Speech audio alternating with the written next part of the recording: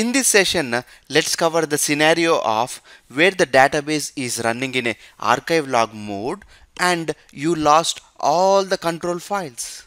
Okay? We know without the control files, uh, the database cannot run. Control files are very, very important. Right? Let's open a terminal. Okay, let's go to disk 2 here let's go to prod 1 and let's go to control. If you look at here we are in disk2 prod 1 control. This is where our control files are there right? Okay. So let me see the control files. Okay we have two control files and the date is 28th April. Remember this 28th April. And now let me remove this control files. Yes. Yes and now if you check the control files are not there. Oops. Now the database will not function. Now you get the call from the users saying the database is not running. And once you go to the folders and see the control files are missing. Even if we have one control file the database can run.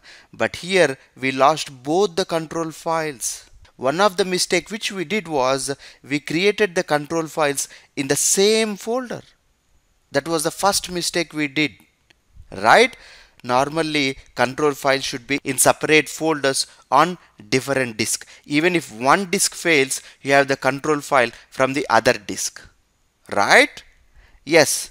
Okay. Now we lost the control files. We cannot do anything. The only thing is like if you remember on 27 you took a backup right? Okay we stored our backup in disk 1 hot backup folder and let's see the control file. Okay we have the control file which was taken on April 27 at 20 hours 17 minutes the current control file is April 28 and the backed up one is from April 27 okay at least we have a backup control file. So now the first step which we need to do in the database is we shut down the database. Okay shut down abort. Okay so that means we are shutting down the database. Oracle instance is shut down. Now let's go back and copy the control file. So we copy this control file to where should we copy? We should copy it to disk 2 prod 1 control folder. Okay, we copied the control file. Now let's go to disk 2 prod 1 control and let's check. Okay we have that but our control file name should be either control01.ctl or control02.ctl so let me change the file control.bk to control01.ctl okay and now we have control01.ctl we have one control file. If you remember we had two control files right? So let me create the other one. Control01.ctl to control02.ctl okay? So now we have two control files.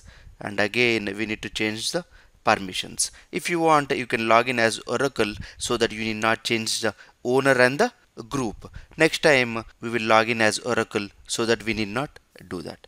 So let me change the owner to Oracle and let me change the group to O install.